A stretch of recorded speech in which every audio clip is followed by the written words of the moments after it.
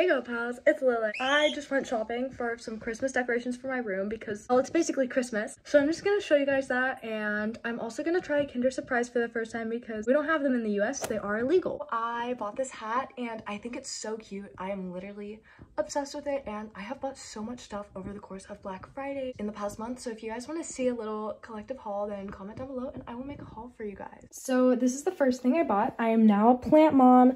Also, my little chalkboard. It's a heart, but it's made out of like mistletoe. Hey gal pal, I'm gonna try the Kinder Egg the Kinder Surprise for the first time. Oh my god, it's literally solid. There's like, there's a toy inside. It's illegal in the US.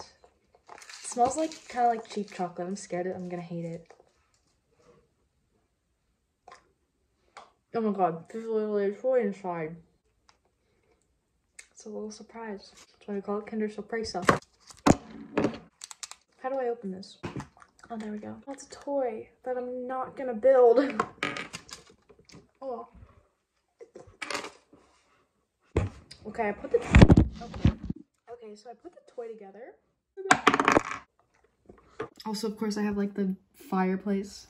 Oh we also have some Christmas colored crystals. Hi guys, I'm trying a Chupa Chup for the first time. It's strawberry. It's really good we just ran across the street and almost died. He dicho que mi vida, mi vida es un juego. Okay. Adiós. Thank you for watching this video. Bye. Bye.